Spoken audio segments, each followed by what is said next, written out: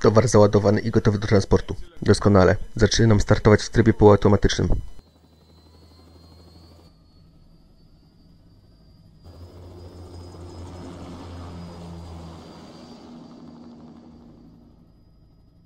Wiesz, kiedyś tego typu kosmiczny start wymagał dni przygotowań.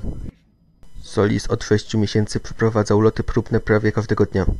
Powiedzieli, że mogą zmienić dzisiejszą trasę bez żadnego problemu tak długo jak nie przekraczamy atmosfery. Niesamowite, Ziemia jest kołyską ludzkości, ale ludzkość nie może zostać na zawsze w kołysce. Będę tylko w termosferze. To coś nie potrafi przekroczyć linii Kermena. Księżycowe wakacje muszą poczekać. A już myślałem, że przywieziesz mi monolit. Dwa straszydła szybko się zbliżają. Czy to, a kto inny, trajektoria lotu sugeruje bezzałogowe MQ-320.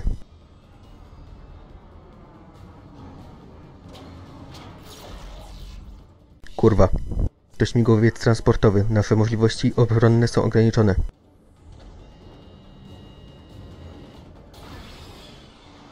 Rakiety lecą w naszą stronę.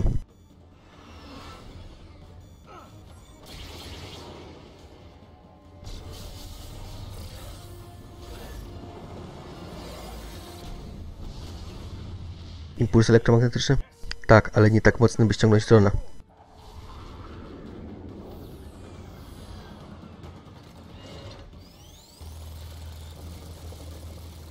Nadchodzą. Ja się ty zajmę. Raiden. Miłego lotu. A ludzie gadają, że Niemcy nie są śmieszni.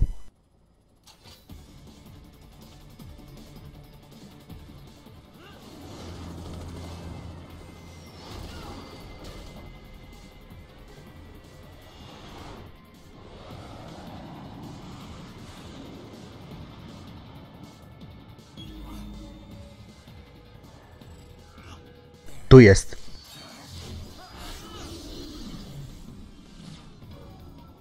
No dobra. Przybliż śmigłowiec.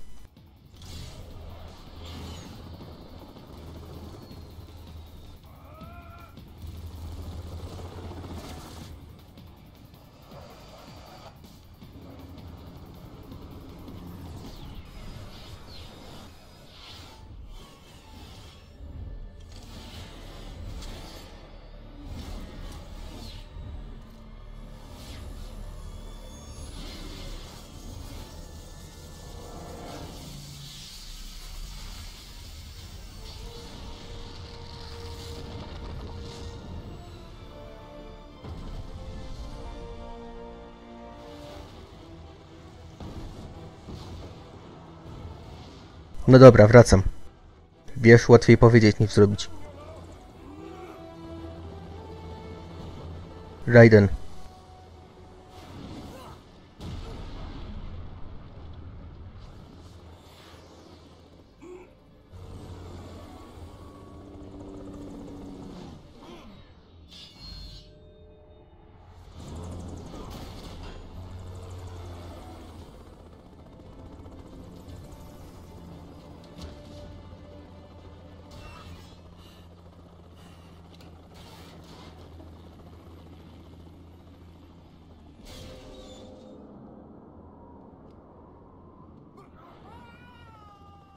Raiden.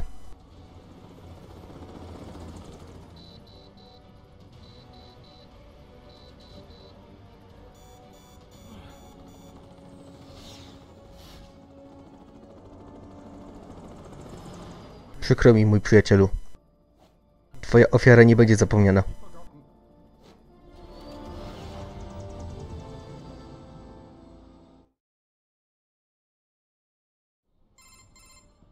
Niezły upadek, Raiden. Miło cię widzieć całego. Czas wynosić się z Denver. Tere! Witam w kolejnej części Zagrajmy w Metal Gear Rising Revengeance. I tak mnie zastanawia, po co twórcy gry marnowali fundusze na tą cutscenkę, skoro i tak jesteśmy bezpośrednio przed World Marshal. Widzę tam skrzynkę, w której pewnie coś fajnego, ale widzę, że najpierw trzeba się zająć przeciwnikami. Tak więc wypróbujmy nową zabawkę od Sundownera. Nowyce. Strasznie wolne. Może i ktoś potrafi je jakoś wykorzystać, ale ja nie potrafię. Dla mnie one są po prostu za wolne. To jest za szybka gra, żeby takimi wolnymi rzeczami wymachiwać. Jeszcze kilka razy, może tam spróbuję ich używać, ale e, spróbuję. Nie będzie to na pewno efektywne wykorzystanie.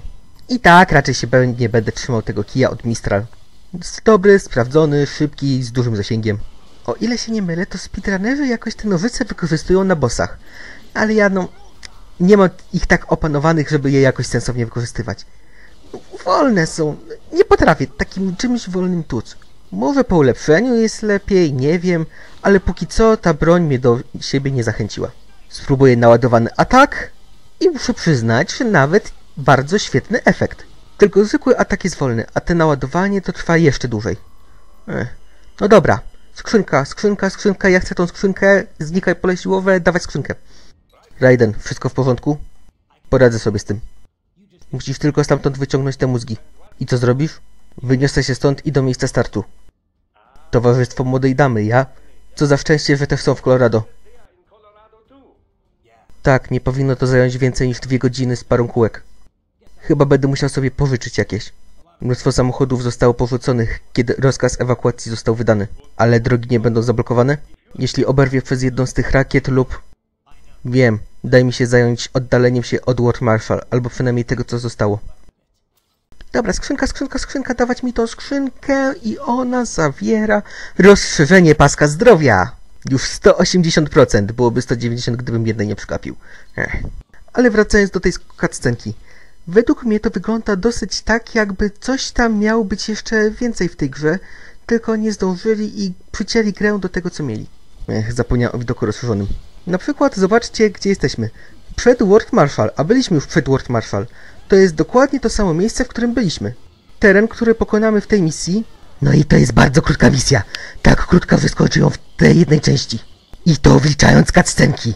Na przykład, po co była ta wcześniejsza, skoro wystarczyło zrobić, że po pociechaniu Sundownera Raiden spadł. I tak doktor go nie zabrał. I tak... I tak wlądował bezpośrednio przed siłą World Marshall, a nie gdzieś dalej. I tak...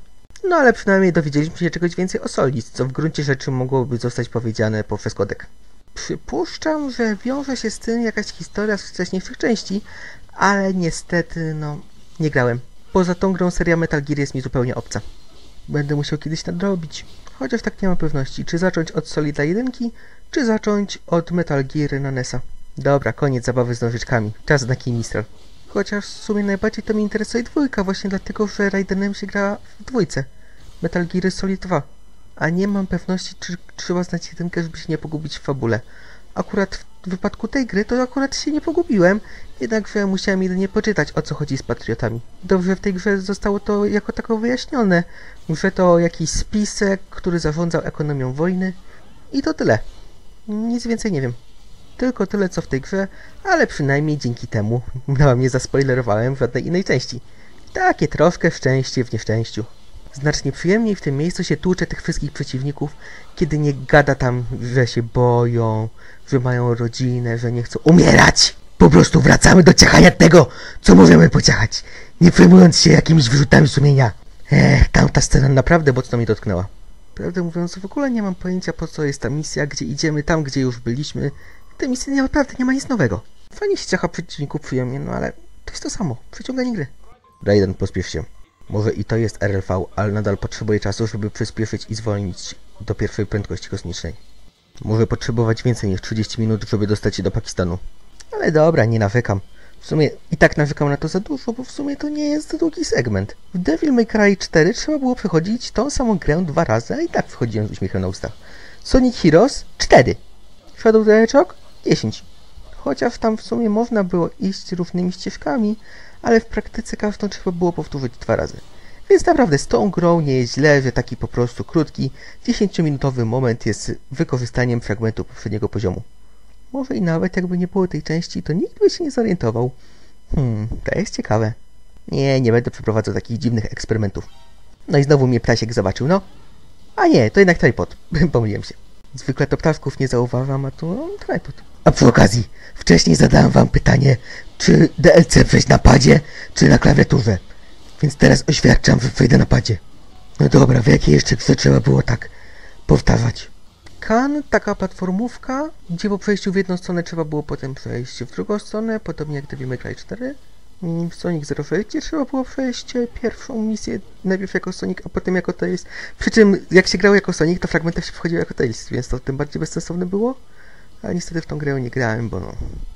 Nie mam Xboxa ani PlayStation 3. PC Master Race, więc jak będę let's playował trójwymiarowe Soniki, to możliwe, że się zatrzymam na Heroes i przeskoczę do Generations, bo po prostu no, pozostałe nie mają podstawowych wersji. Chwila, czemu ja gadam o Sonicach, kiedy gram w Metal Gear Rising? Soniki będą podczas gry Soniki. Znalazłem drogę z relatywnie lekką ochroną. Zaznaczę, gdzie masz iść na twoim radarze. Proszę, nie zabijaj mnie. Hej, nikt nic nie mówi o zabijaniu kogokolwiek. Odpowiedz, czemu nie posłuchałeś się rozkazu ewakuacji? Ja byłem... Ty, a byłeś co? Zapomniałeś przykrywki? Nie, nie, ja tylko... No dobra, nie mam czasu na takie pierdolenie. Raiden, dołączę do ciebie w Pakistanie. Znajdę sposób, by wyjść z helikoptera. Podążaj dalej przez miasto. Skontaktuję się z tobą, kiedy będę na ziemi. Wcześniej mieliśmy kolejnego cywila, którego olałem, żeby World Marshal go sobie spokojnie zabiło, bez żadnego powodu. Po prostu mi się nie chciało. Chciałem tę misję zrobić na tyle szybko, żeby się zmieścić w jednej części. I muszę przyznać, że mi się udało.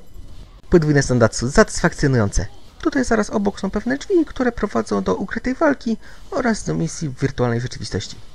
Tak, patrząc skąd przyszedłem, to po lewej. Jednak jest tam coś, co wydaje mi się takie dosyć interesujące. Arbuzy. Jest tam pełno arbuzów, które w sumie do niczego się nie przydają, poza tym, że możemy je sobie pociechać. I to już jest właściwie koniec poziomu. Pokonam tych przeciwników, już właściwie chyba tylko jednego z tego co widzę. Przetnę tą bramę, co jest przed nami i to w sumie by było na tyle.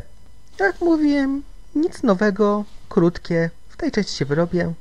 Chyba z tyłu został jakiś przeciwnik i alarm musi się skończyć, ale skończy się alarm i będę mógł przejść, bo to jest zależne od alarmu, a nie od tego, czy naprawdę przeciwnicy są zaciachani, więc w gruncie rzeczy, jak się jakiś zliczy, nie ma problemu.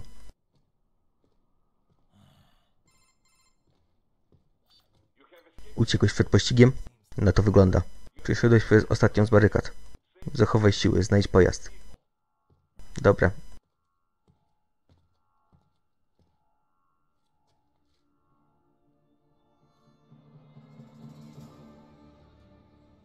To się nieźle nada.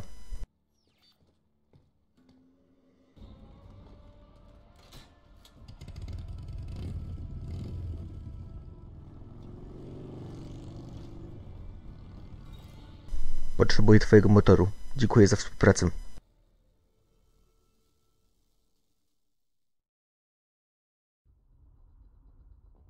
I to jest cała misja.